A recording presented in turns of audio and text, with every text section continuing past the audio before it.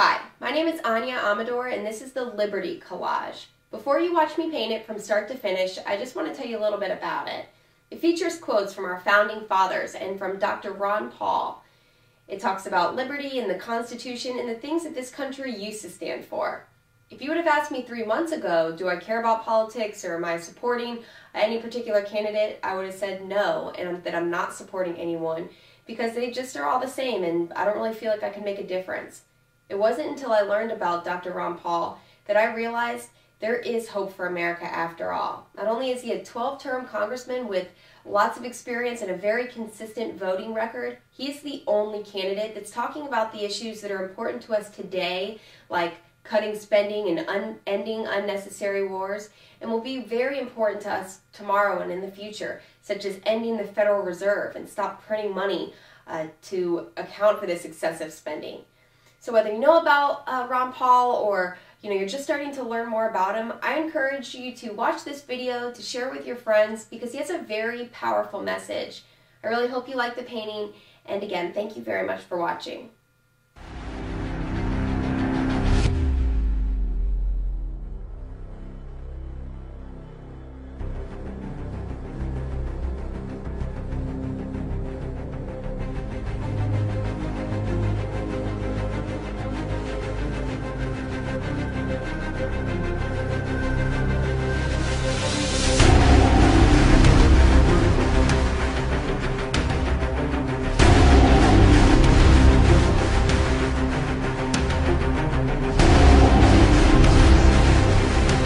Madam Speaker, I have a few questions for my uh, colleagues. What if our foreign policy of the past century is deeply flawed and has not served our national security interests? What if we wake up one day and realize that the terrorist threat is a predictable consequence of our meddling in the affairs of others and has nothing to do with us being free and prosperous? What if propping up regime, repressive regimes in the Middle East endangers both the United States and Israel? What if occupying countries like Iraq and Afghanistan and bombing Pakistan is directly related to the hatred directed toward us? What if someday it dawns on us that losing over 5,000 American military personnel in the Middle East since 9-11 is not a fair trade-off for the loss of nearly 3,000 American citizens, no matter how many Iraqi, Pakistani, and Afghan people are killed or displaced.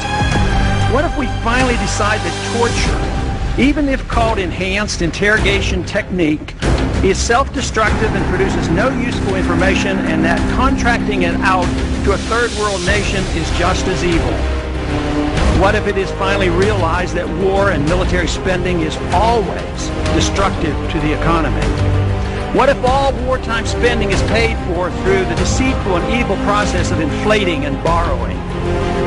What if we finally see that wartime conditions always undermine personal liberty? What if conservatives who preach small government wake up and realize that our interventionist foreign policy provides the greatest incentive to expand the government?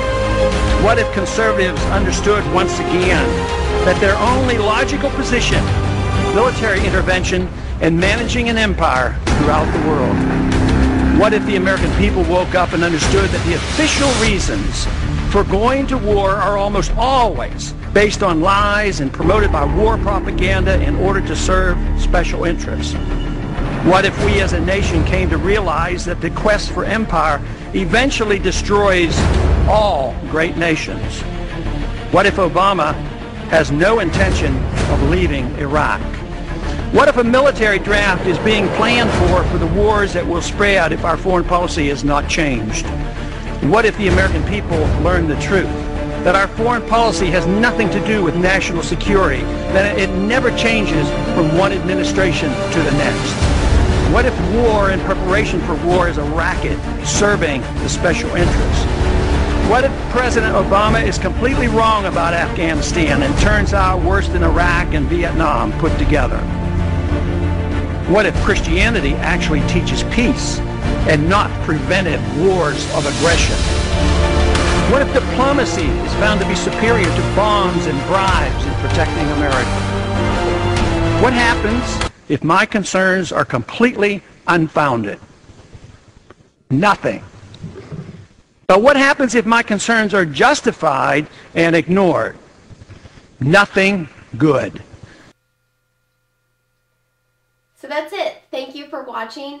I hope you liked it and can appreciate the process and how much cutting and pasting went into all of these different quotations. Uh, but it's a really powerful message, so I hope that you will uh, like it here on YouTube, share it with your friends on Facebook and Twitter, and you can continue to share the message and even uh, have a copy of this painting for yourself. You can order prints at www.libertypainter.com. There are also t-shirts available, and we are donating uh, some of the proceeds to the Ron Paul campaign. This painting is actually uh, going to be auctioned off on eBay, which you can also find on the website libertypainter.com. So if you like the painting or you'd like to order a print or uh, possibly a t-shirt, then check out the website and support Ron Paul 2012.